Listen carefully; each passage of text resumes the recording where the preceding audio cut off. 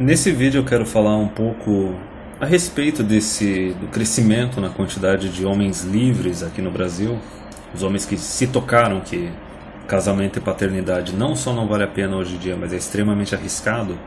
E esses caras não querem abrir mão da liberdade deles de jeito nenhum. Por que, que esse tipo de homem ele vai crescer em quantidade pra caramba aqui no Brasil? E por que, que eles vão, vão começar, não só vão começar, como já estão sendo atacados, e da onde que esses ataques vão vir? Bem, em primeiro lugar, tu tem que ver que tem um grupo bem gigante e bem influente, né? Porque afinal a gente vive numa democracia com voto universal, né? Que é um câncer isso. Mas enfim, o primeiro grande grupo que vai atacar esses homens são as mulheres. Mulheres no geral. Mulheres no geral, não importa se é de direita, não importa se é de esquerda. Elas vão basicamente é, atacar esses homens porque esses homens eles estão estragando os planos delas. Veja bem, mulher moderna atual, ela começa ali a vida sexual dela aos 15 anos, às vezes mais cedo ainda. Aí fica numa fase de curtição, fica numa fase de faculdade, tem uma fase de começar a trabalhar, uma fase de ficar viajando pelo mundo, né, tirando foto da rabeta no Instagram. E daí, de repente, elas decidem lá entre os 30 e os 40 anos que elas querem se casar, querem ter filhos, né? Cansaram da época de festa e daí querem arranjar um protetor. Um protetor, um provedor, um bedão, um betão, né? Um gadão provedor. E veja bem, é, por que que vai vir um ataque bem ferrenho, bem emocional, bem misândrico dessas mulheres para esse tipo de homem? Porque basicamente eles estão eliminando o plano B, plano C delas, estão eliminando o porto seguro delas estão eliminando é, o planejamento delas, que era um acordo que não trazia benefício nenhum para o homem, trazia todo tipo de benefício para elas, mas nenhum para o homem. Compreende? Porque são pessoas egoístas, narcisistas, estão só pensando em si mesmas. Elas sempre estão pensando no que, que elas esperam do homem, o que, que o homem tem que contribuir para elas, mas elas não pensam no que, que elas têm que contribuir para o homem. Compreende? E daí se assustam quando os homens resolvem dar as costas para elas. Então veja bem, vão começar agora, a partir de 2020, chegar ali nos seus 30, 35, 40 anos, né? Tiveram a fase de faculdade, tiveram a fase de trabalhar e estudar. É, independente do trabalho, do estudo delas ter gerado bons frutos, ter dado bons resultados, só que daí chega aquela fase assim, ou talvez o estudo e o trabalho dela não deu muito certo e agora ela está precisando de um homem, e daí convenientemente ela decide que ela quer se comprometer, certo? Ou talvez até o estudo e trabalho dela deu certo, só que agora ela quer relaxar um pouco. Entendeu? Daí, magicamente, por conveniência, decide que quer arranjar um companheirão. Então, imagina como é que elas vão se sentir quando elas veem que, opa, sabe aqueles homens que elas ficaram ignorando durante 10, 15 anos, talvez até 20 anos? Pois é, né? Eles seguiram em frente com a vida deles e agora, sei lá, eles ficaram sozinhos tanto tempo que começaram a gostar de ficar sozinhos e não querem abrir mão desse estilo de vida deles. E essa questão da mulher dela atrasar pra caramba o comprometimento, é, a busca de um relacionamento fi, fi, é, fixo assim para casar e ter filhos, existe uma razão para isso porque eu já falei várias vezes aqui no canal que a única forma de tu atrair e manter uma mulher é ela precisando de ti fisicamente ou financeiramente. Compreende? É basicamente executando o teu papel de protetor e provedor. Por isso que quando tu tem países ou regiões que têm alta criminalidade ou até estão em situação de guerra civil, etc., tu dificilmente tu vai ver mulher sozinha, tu dificilmente vai ver mulher solteira, por causa da questão da proteção. E daí tem a questão da provisão. A questão da provisão não é nem só esse hedonismo da mulher a partir do momento que ela ganhou a oportunidade de trabalhar e estudar, mas também é o seguinte, é porque tu tem que entender que os pais eles têm uma tendência bem maior a continuar sustentando a filha indefinidamente do que ficar sustentando o filho. Compreende? Então essas mulheres aí começaram a vida sexual mais cedo e não se comprometeram com homem nenhum. Por quê? Porque no começo dessa fase elas estavam sendo sustentadas pelos pais. Aí depois elas são sustentadas por uma bolsa na universidade, entende? Aí depois arranja meio que aquele primeiro emprego, mas ainda está recebendo ajuda dos pais, entendeu? Ainda está se estabelecendo e tal. Aí aproveita para festar um pouquinho, viajar o mundo. E daí é só depois, aos 30 anos, quando os pais, umas vezes, já estão de saco cheio de ficar sustentando elas, não tem mais instituição de ensino e aquela colherinha de chá dos primeiros anos de trabalho está acabando, as empresas estão começando a exigir, ó, oh, tu vai ter que trabalhar mesmo, porque senão se tu não quiser tem gente mais jovem querendo trabalhar. Aí elas decidem magicamente que querem arranjar um provedorzão para dar uma vida mais fácil para elas, compreende?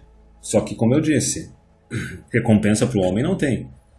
Não é uma mulher jovem, não é uma mulher mais tão fértil, é uma mulher que muitas vezes teve uma quantidade grande de parceiros atrás, entendeu? Uma mulher de nariz empinado, difícil de lidar, entendeu? Que quer continuar sendo carreirista, que fala besteiras como dupla jornada e tudo mais.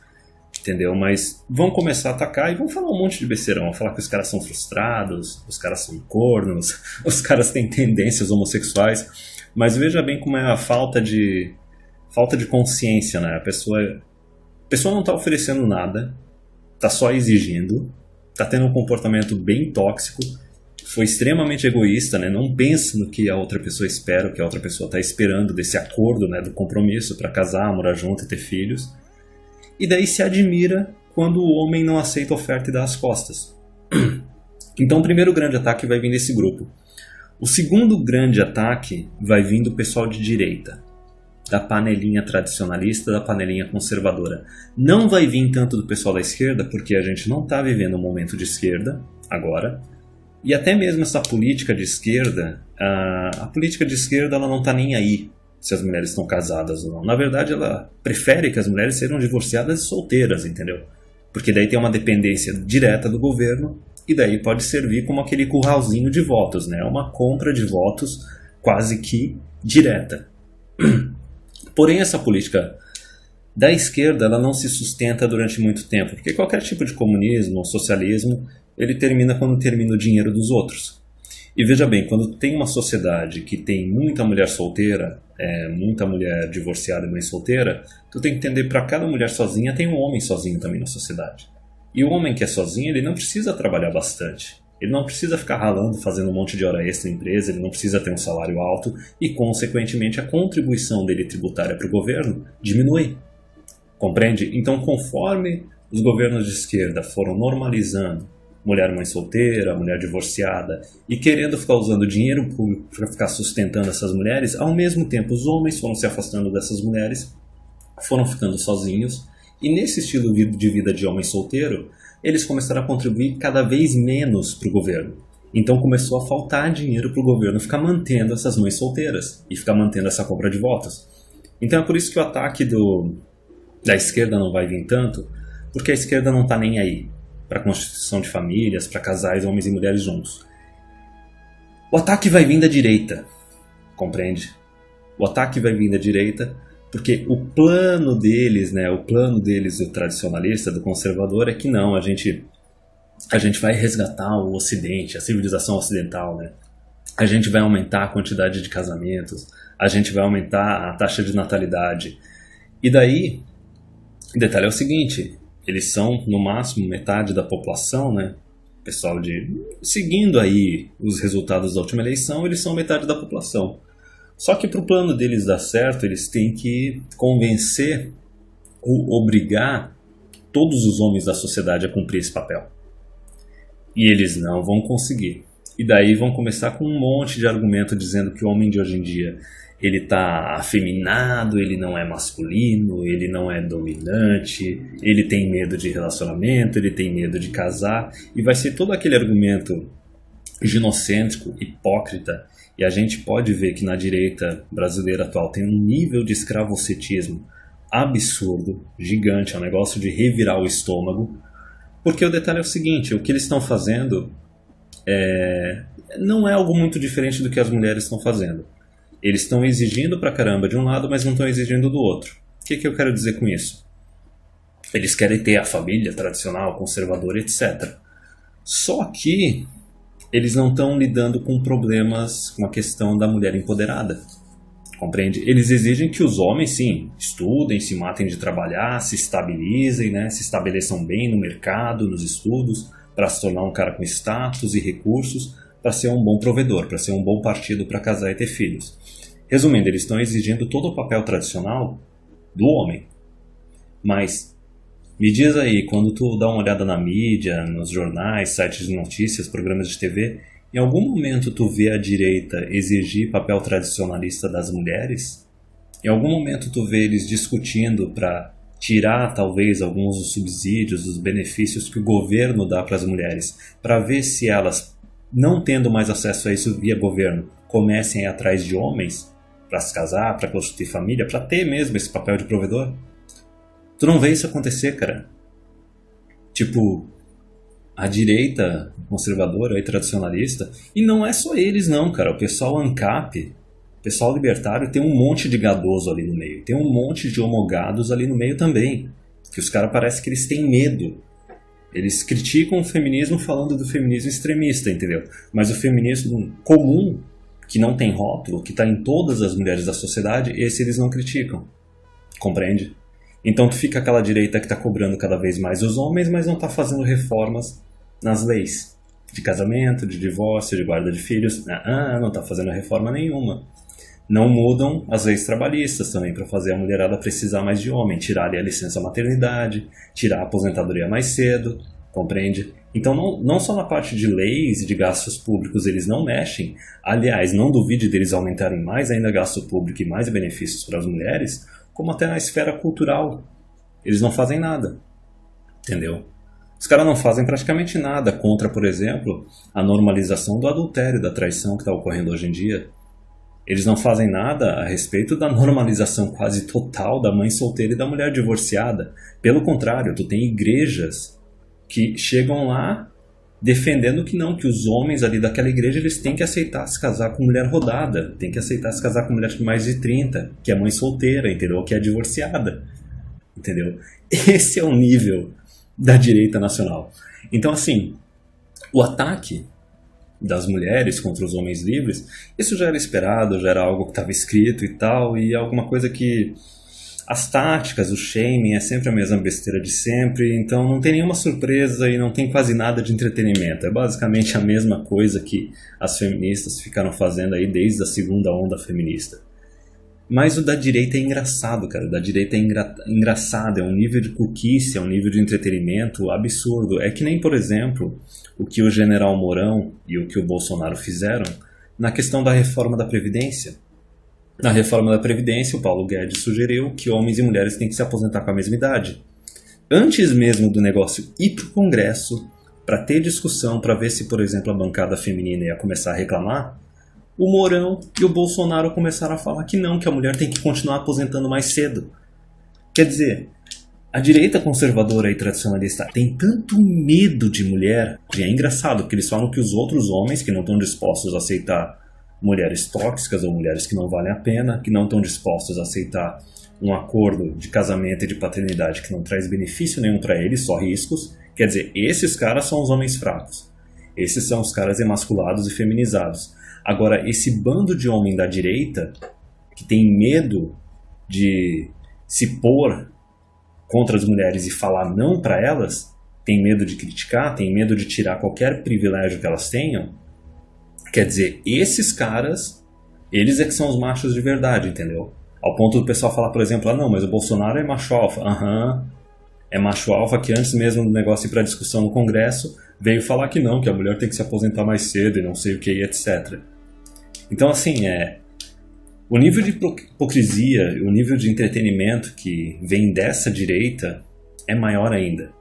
E o detalhe é o seguinte, eu estou vendo surgir aí uns canais de de YouTube com esse tipo de gente, esse tipo de gente, e tá tendo meio que uma união disso, né? Tá tendo uma união disso porque já tem até congresso antifeminista, umas coisas muito piada, os caras fazendo vídeo assim que os homens estão com medo de relacionamento, estão com medo de casar, as guriazinhas assim que são foto, fotezinha mais nova, né? Que daí, ah, elas querem um cara provedor, elas querem tradicionalismo e tal, querem poder ser dona de casa e ter filhos, mas não querem casar cedo, entendeu? Não querem abrir mão da faculdade, não querem abrir mão de trabalhar. Tipo, é um festival hilário, compreende?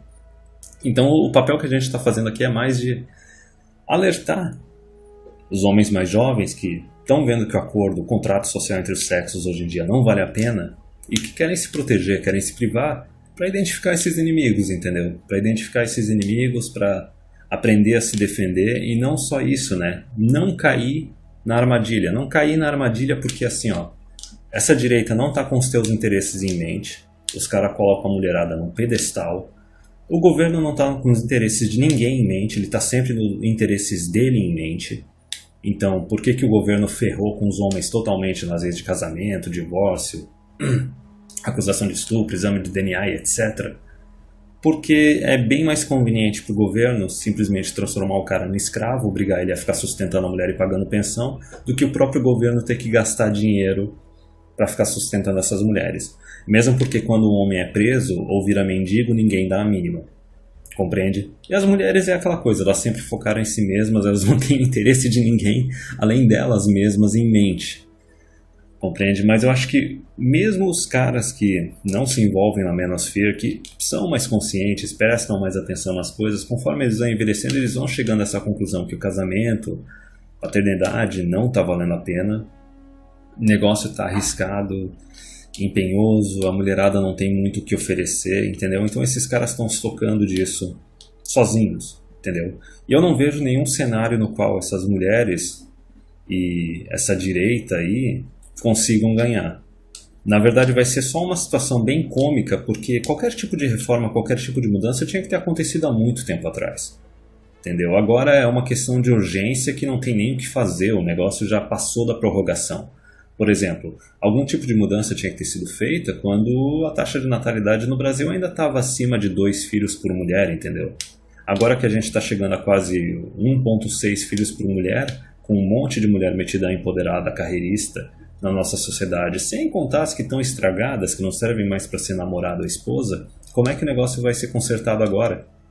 Basicamente vai ser um período assim bem curto, vai ser um período bem curto de mulherada atacando os homens que querem continuar livres, essa direita atacando os homens que querem continuar livres. Só que o detalhe é que a gente não precisa nem jogar o jogo para ganhar, porque o tempo está do nosso lado. Porque tem uma questão muito importante aí no meio. É, a janela de fertilidade das mulheres é bem curta.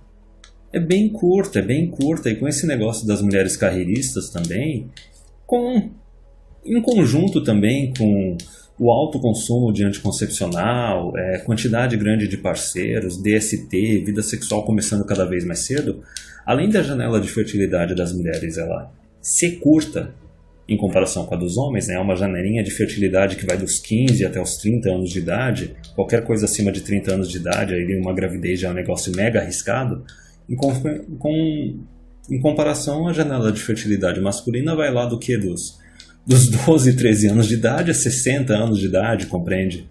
Então, assim, as mulheres e a direita vão começar a martelar os homens assim livres, os homens independentes, só que eles vão ficar martelando talvez 5, 10 anos, e vai chegar uma hora que não vai adiantar mais eles ficarem martelando e pressionando, porque simplesmente as mulheres vão chegar na menopausa. As mulheres vão se tornar inférteis, compreende? Então, ok, a gente tem um, uma quantidade de mulheres aí com essa taxa de natalidade né, de 1,6 por mulher. A gente tem uma quantidade bem grande de mulheres que estão chegando nos 30, 35, 40, sem marido, sem filhos. Basicamente vão envelhecer sem ter ninguém para cuidar delas. E daí, conforme cada uma delas vai chegando na menopausa, cada uma delas vai se tornando infértil, né? Aí o pessoal fala, não, mas menopausa é com 45 anos. É, mas a infertilidade já vem antes, cara. A infertilidade já vem uns 5, 10 anos antes. Conforme cada uma delas for chegando na sua situação de infértil, qualquer tipo de argumentação aí para ah, voltar no tradicionalismo, voltar no casamento, é, reconstruir a família, entendeu? Aumentar a taxa de natalidade, qualquer argumento desses vai se tornar vazio, porque não vai ter mais como obter os resultados. As mulheres já vão ser inférteis, como é que tu vai ter um tradicionalismo? Como é que tu vai ter uma família tradicional sem filhos? Porque, sinceramente, um casal sem criança, sem filhos, não é uma família. É um casal, cara. Eles podem fazer uma festa de casamento na igreja, eles podem no cartório assinar um documento, só que daí, se não tem filho, não tem herdeiro, não é família, cara. No máximo eles vão fazer o quê? Adoção? então tá, né? Essa vai ser a grande vitória aí das mulheres que estão encalhando e da direita conservadora.